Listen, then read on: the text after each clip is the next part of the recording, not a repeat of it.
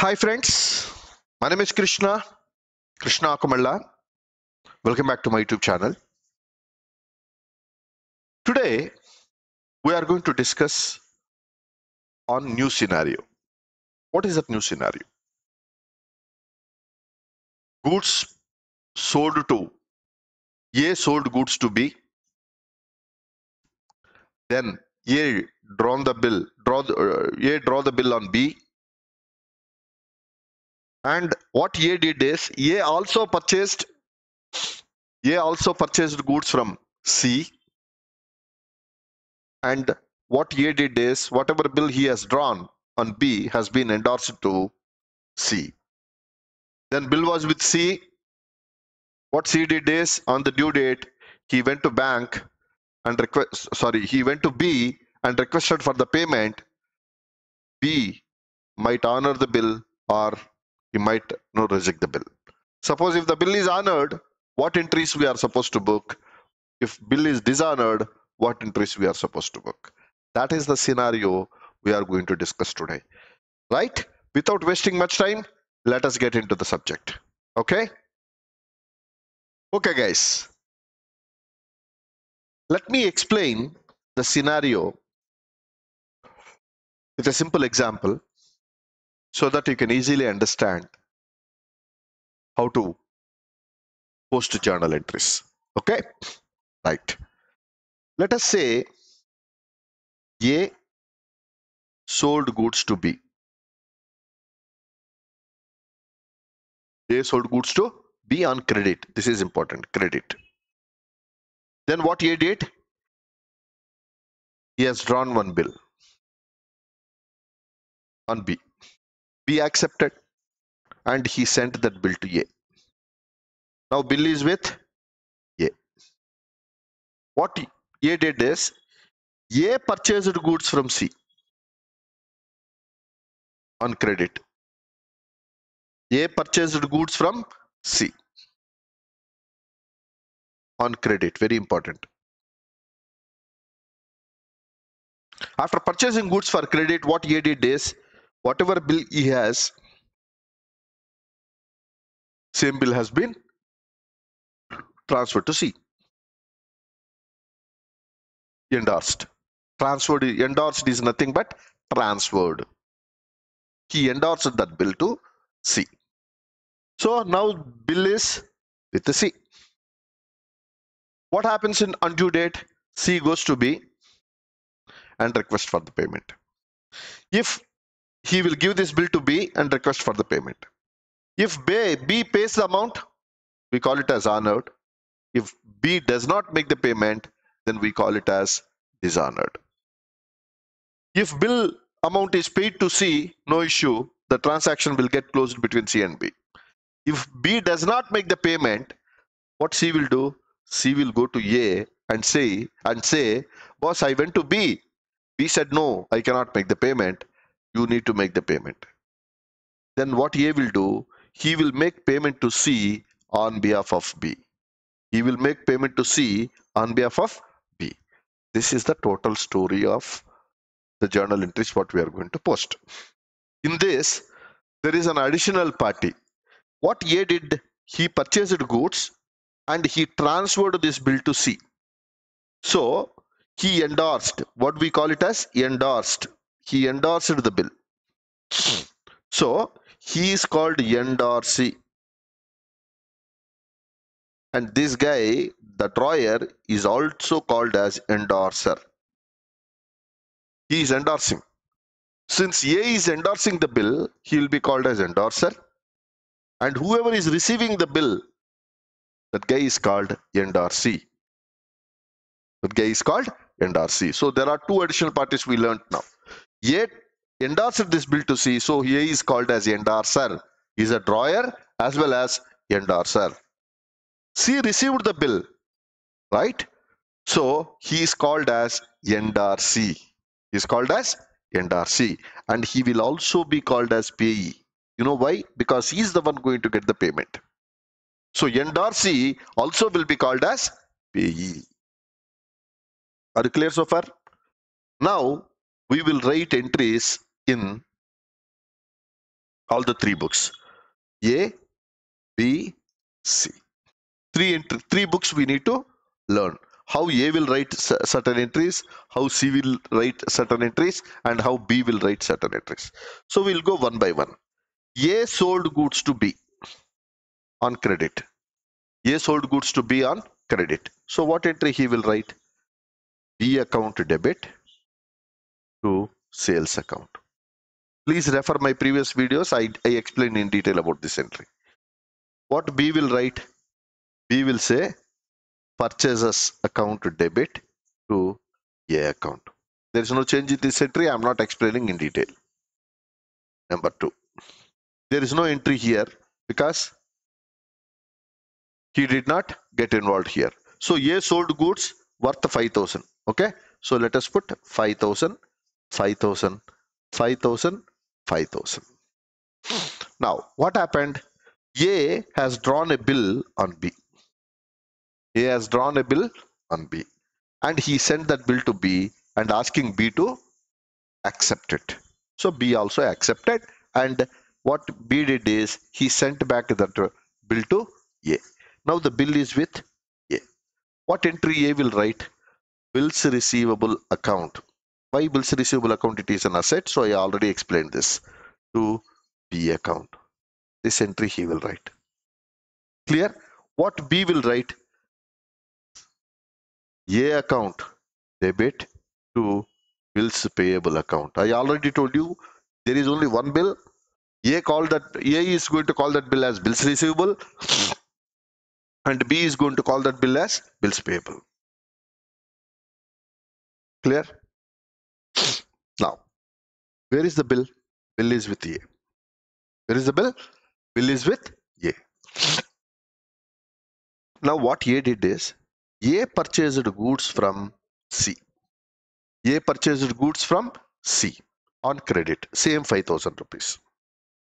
Same 5000 rupees, A purchased goods from C this entry has to be written now. So what do we do?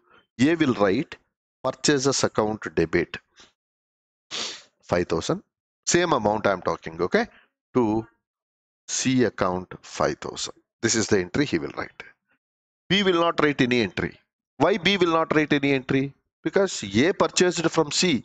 The transaction happened between A and C. If the transaction happened between A and C there is no involvement of B. There is no involvement of B. So B need not write any entry. What C will write?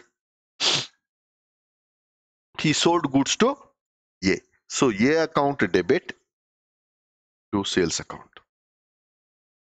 5000, 5000. A account debit to sales account. This is the entry he will write.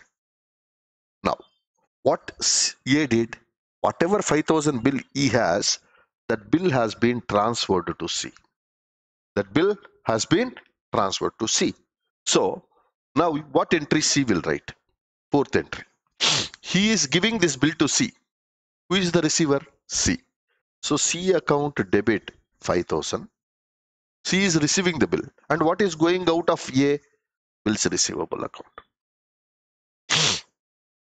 C account debit to bills receivable account. This is the new entry guys.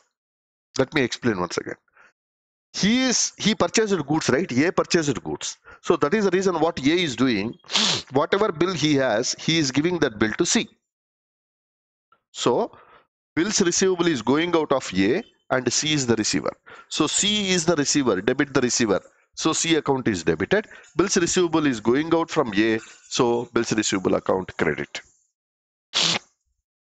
there is no entry in b books why there is no entry in B books? The transaction happened only between A and C. He transferred that bill to C. So there is no issue with B. So he will not write anything. What C will write? C is getting the bill. What bill is getting? Bills receivable. Bills receivable is an asset for him. So he will debit bills receivable account to debit 5000. And who is the giver of the bill? A is the giver of the bill. So to A account 5000 rupees. You understood? So why bills receivable account is debited? For C, now bills receivable is asset. So he is debiting bills receivable account. And who is the giver? A. So giver account, debit the receiver, credit the giver. So A account is the giver. So we are creating A. So bills receivable account debit and A account credit.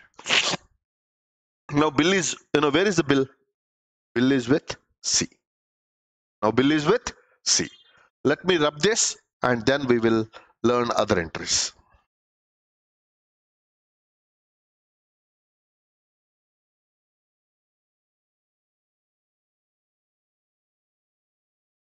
Let me write down like this.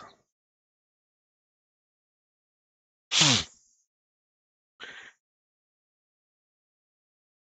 Now the bill is with C. Bill is with C. On the due date, what happens? C went to B and requested for the payment. B paid the amount. Then what entry B will write, what entry C will write, what entry A will write. That is what we are going to learn. First, let us start from C. C got the amount, so he will debit bank. Bank account debit. He is giving this bill to B. So to bills receivable account. Bank account debit to bills receivable account. That's all. He is getting the cash. So bank account is debited and his bill is being given to B. So bills receivable is going out. So bills receivable account is created. What B will write? B is getting the bill. What bill for him? That is bills payable for him. So bills payable account to debit to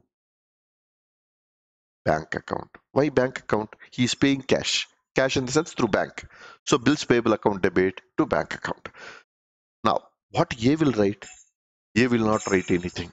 Why A will not write anything? Because the transaction got settled between C and B.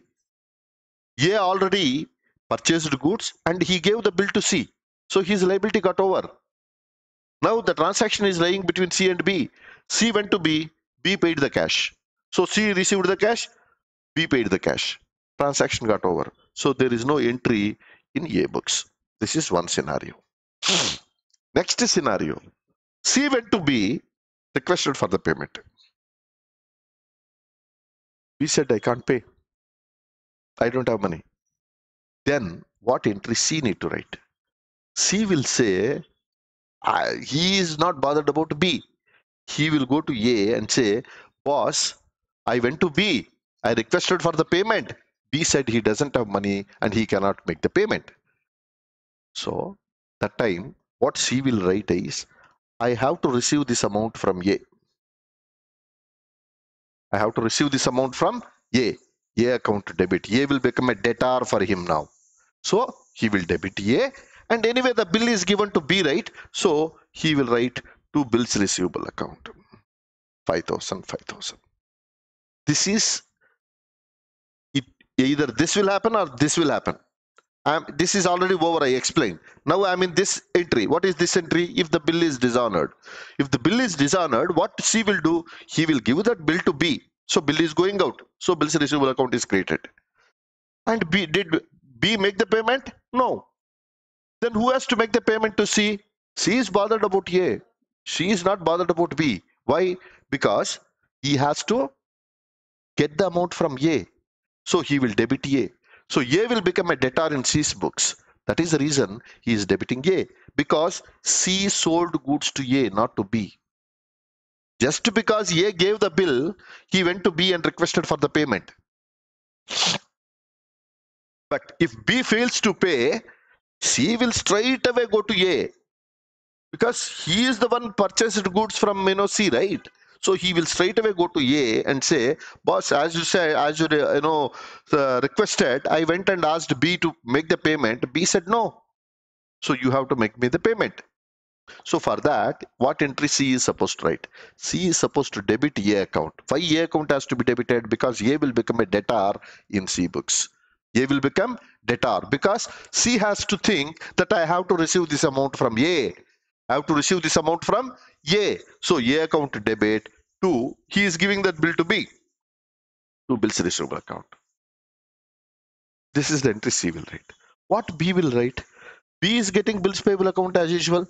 He will say bills payable account debit 5000 rupees and he did not make the payment. To whom he has to pay? He has to pay to A not to C.